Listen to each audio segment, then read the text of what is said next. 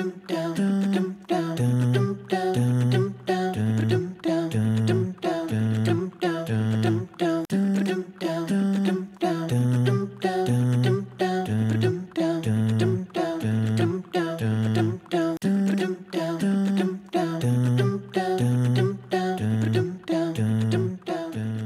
ลามอะลัยกุมราะห์มุตุลลอฮ์รากาตุการเดินทางในครั้งนี้ถือว่าได้รับประโยชน์มากกับการที่ศรัทธาชนลงพื้นที่ทั้งเยี่ยมเยียนครอบครัวคนพระแล้วถือเป็นอีกโครงการหนึ่ง คือศรัทธาชนสัญจร เราไปตามมัสยิดโรงเรียนองค์กรต่างๆ เพื่อนำนักวิชาการลงไปเผยแพร่ หัวใจหลักสำคัญก็คือ เราได้ไปเยี่ยมเยียน ครอบครัวกำพร้าลงพื้นที่กันบ้านต่อบ้านประตูต่อประตูนะครับถือเป็นโอกาสสำคัญที่จะได้ทำความรู้จักในพื้นที่ พร้อมทั้งประสานงาน แล้วก็ดูแลลูกกำพร้าหญิงไม้นะครับที่มีผู้ประสานงานหลักๆ อยู่แล้ว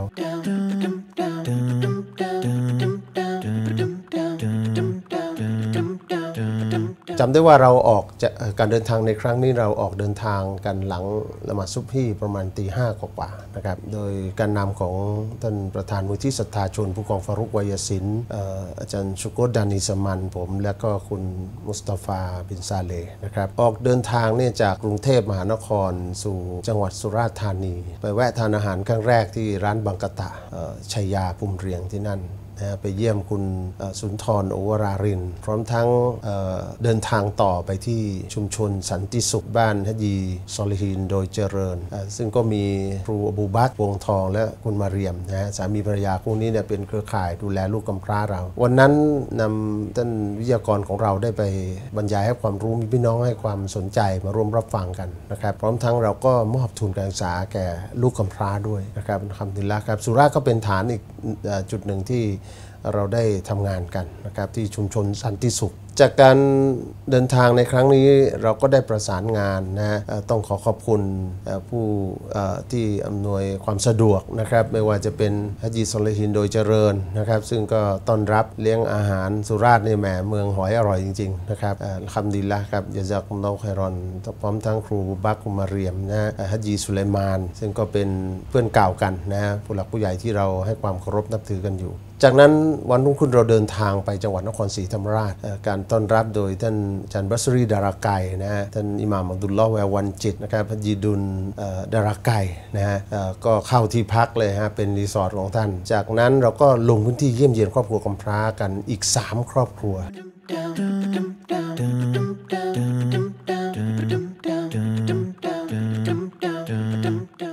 ครับก็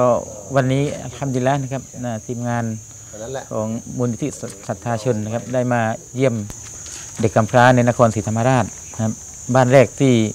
ได้นำคณะไปก็คืออที่หมู่ที่ 5ตำบลนาเคียนนะครับนะซึ่งที่บ้านนั้นก็มีมีย่าแล้วก็มีหลานนะคนที่เป็นย่าเนี่ยสามีเขาเสียชีวิตด้วยอุบัติเหตุแล้วก็เลี้ยงหลานนะตัวเขาเองเนี่ยก็มีเด็กกำพร้าอยู่ ในการดูแล 3 คนนะพ่อเขาเสียชีวิต ซึ่งก็อุบัติเหตุนะรถยนต์รถมอเตอร์ไซค์นะครับนะแล้วก็ทิ้งลูกๆไว้ 3 คน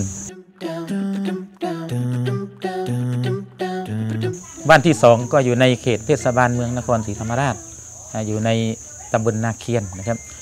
เราก็ทดสอบอีกนะครับว่าอยู่ที่นาเคียนไม่ไม่นานก็เกิดอุบัติเหตุ ลูกชายนะถูกรถชนนะอุบัติเหตุรถจักรยานยนต์ทั้งสองคนเลยนะอาการก็สาหัสนะแล้วก็คนเล็กเนี่ยก็เป็นแผลตามตัวถลอกไปตามตัวนะครับแต่ว่าอ่าอัลฮัมดุลิลละก็ก็ไม่ไม่ถึงกับว่าอ่าในเรื่องของสติปัญญาก็ยังครบถ้วนนะร่างกายก็ยังยังดีนะแต่ก็ยังอยู่ในสภาพที่น่าสงสารเพราะเขาสลบใช่ไหม ตอนสลบไหมนั้นตอนนั้นเขาออกไปประมาณ ประมาณสามทุ่มทราบข่าวว่าเกิดอุบัติเหตุ โดยพี่สาวมาบอกหรืตอนนั้นใครพี่สาวโทรมาค่ะพี่สาวอยู่ที่ท่าสาราบอกเขาว่าไงบ้างเขาบอกว่าลูกอยู่ห้องฉุกเฉินเลยตอนนั้นค่ะรู้สึกตกใจมากแล้วก็ ตอนนั้นนั่งไม่ติดเลยค่ะ ต้องเดินตลอดเลยตอนนั้นน่ะอืมตอนนั้นสี่ทุ่มแล้วค่ะอืมเพิ่งจะรู้ข่าว เป็นกังวลมากแล้วก็ ขอเจ้าแล้วว่าขอให้เรารู้ว่าเกิดอะไรขึ้นกับลูกที่ว่าไม่ได้กลับมานะอืมเพราะเขาไปเขาขับรถจะไปชิดขวาจะไปยูเทิร์นใช่ไหมคะแล้วก็ข้ามไม่พ้น ข้ามไม่ข้ามข้ามไปชิดขวาไม่ทัน ก็เลยมีรถกระบะพุ่งชน ผมเจ็บมาก นั้นไม่รู้สึกอะไรรู้สึกแต่เจ็บอย่างเดียวฟื้นก็มัน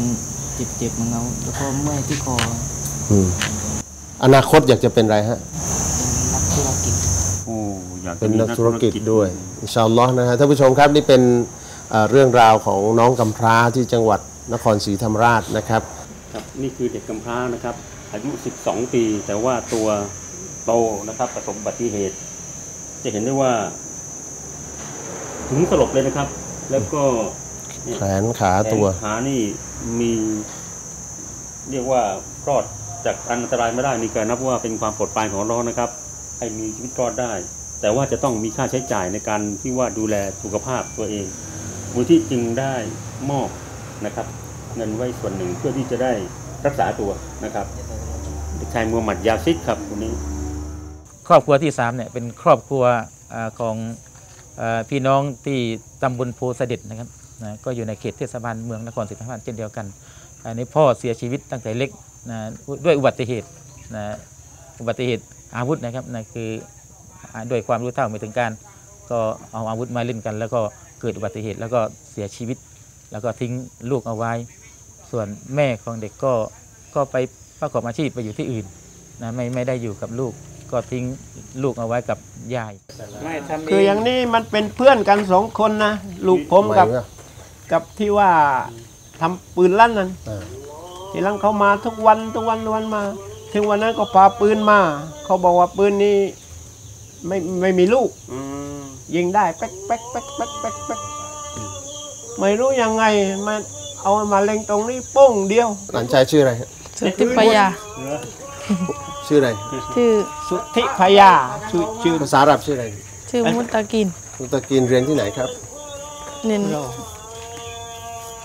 เรานี่กามาลุดดิน ฮะเรียนโรงเรียนไทยที่ไหนสามัญเรียนที่ไหนครับ เป็นโรงเรียนเมือง เมือง ชื่อโรงเรียนอะไรครับ โรงเรียนเมืองนครศรีธรรมราชพูดดังๆแล้วก็มาเรียนภาษาอาหรับเรียนกุรอานพระตุอินที่ไหนครับ ที่มัสยิดกามาลุดดินอัสลามุอะลัยกุมวะเราะห์มะตุลลอฮ์วะบะเราะก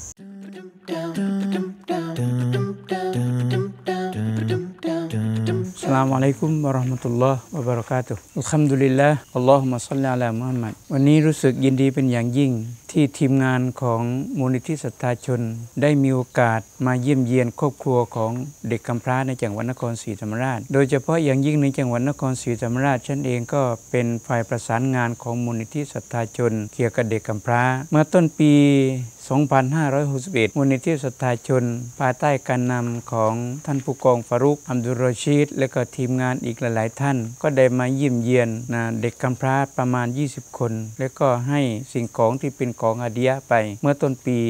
2561 ครั้งที่ 2 มูลนิธิศรัทธาชนก็ได้ทำกุรบานด้วยการให้วัวมาหนึ่งตัว เราก็ได้แบ่งสรรปังส่วนให้กับนักเรียน ไม่ใช่ให้กับเด็กกำพร้าจำนวนทั้งหมด 20 คน ให้กับเด็กกำพร้าไปมาครั้งนี้ก็มูลนิธิศรัทธาชนก็ได้มาเยือนจังหวัดนครศรีธรรมราชอีกครั้งหนึ่ง วันนี้ก็มีโครงการอยู่คือ เวลากลางวันก็ ได้ไปเยี่ยมครอบครัวของเด็กกำพร้าทั้งหมดได้ 3 ครอบครัว นั่นคือหมู่ที่ 5 ตำบลนาเคียน หมู่ที่ 4 ตำบลนาเคียน และหมู่ที่ 3 ตำบลโพธิ์เด็จอำเภอเมืองจังหวัดนครศรีธรรมราช คืนนี้ก็จะมีการมอบ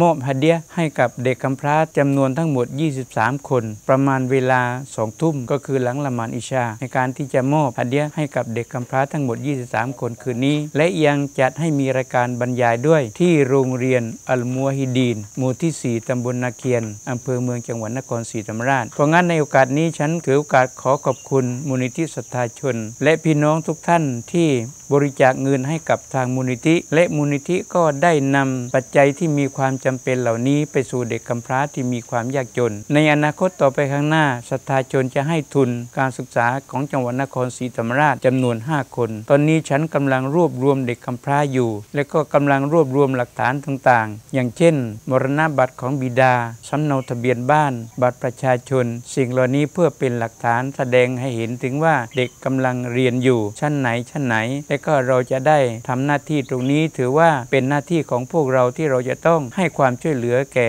เด็กกำพร้าและครอบครัวที่มีความยากจน ซึ่งวันนี้มีโอกาสได้มาเยี่ยมทั้งหมด 3 ครอบครัว ซึ่งเป็นครอบครัวที่มีความลำบากและก็ยากจนด้วย และก็เป็นเด็กกำพร้าด้วย ซึ่งเขาเหล่านั้นไม่มีบิดา ขอขอบคุณมูลนิธิศรัทธาชนและพี่น้องที่บริจาคงบประมาณ มาให้กับมูลนิธิศรัทธาชน และนำไปสู่เด็กกำพร้า ฉันขอยืนยันด้วยความจริงใจว่านี่คือเป็นผลงานที่ดีที่สุด ขออัลลอฮ์ตอบแทน ทั้งดุนยาและอาคิรอด้วยครับวะบิลลาฮิตอฟิกวัสสลามุอะลัยกุมวะราะห์มะตุลลอฮ์วะบะเราะกาตุฮ์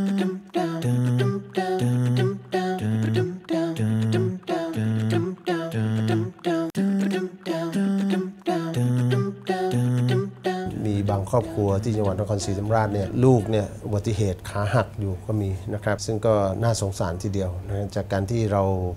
เลงพื้นที่กันเนี่ยเราก็พบปัญหามากมาย แล้วส่วนหนึ่งแล้วเราก็ได้มอบทุนกันด้วยนะอันนี้ก็เป็น 3 ครอบครัวนะครับสามจุดด้วยกันที่เราเได้รับการดูแลนะฮะการนำโดยท่านอาจารย์วัสรีและอิหมัมดุลลอพาเราลงพื้นที่กัน เป็นส่วนหนึ่งของความดีที่เราเห็นถึงความเดือดร้อนนะครับทางเครือข่ายเนี่ยจริงๆแล้วท่านเป็นผู้หลักผู้ใหญ่ให้การต้อนรับ แล้วก็ดูแลคนในพื้นที่ด้วยนะประสานงานกับเราแล้วก็ลงพื้นที่กันเนี่ยถือเป็นประโยชน์อย่างยิ่งกับการดูแลในขณะที่เขาต้องการความช่วยเหลือเขาขาดแคลนเขาเจ็บป่วยอยู่แล้วเราไปดูแลกันอัลฮัมดุลิลครับก็เป็นงานที่เป็นงานที่ดี เป็นละมานที่ดี ขออัลลอฮ์ทรงตอบแทนนะทั้งผู้หลักผู้ใหญ่ในจังหวัดนครศรีธรรมราช ทั้งที่พักอาหารนะบ้านฮัจีดุลและภรรยาของท่านนะครับ ซึ่งเป็นบิดามารดาของอาจารย์ฟาวซานดาราไก่ไปได้ที่พักที่นั่น นอนที่นั่นทานที่นั่นกันเลยนะครับ ในช่วงค่ำเราก็จัดมีวิทยากรที่เรานำไปนะฮะโดยอาจารย์ชุกดานิสมันได้บรรยายให้ความรู้กัน พร้อมกับอาจารย์ฟาวซานดาราไก่ช่วงท้ายเราก็ปิดท้ายด้วยการมอบทุนการศึกษาแก่ครอบครัวกำพร้า ก็เป็นกิจกรรมที่เราลงพื้นที่เราก็อยากจะให้ปัจจัยที่พี่น้องได้ร่วมกันบริจาคเสียสละทรัพย์มา แล้วก็ให้ตกไปถึงมือของลูกกำพร้า นี่คือการถ่ายทรัพย์จากพี่น้อง ทุกบาททุกสตางค์เราทำตามวัตถุประสงค์ที่พี่น้องต้องการตามเจตนาของท่านเลยนะครับ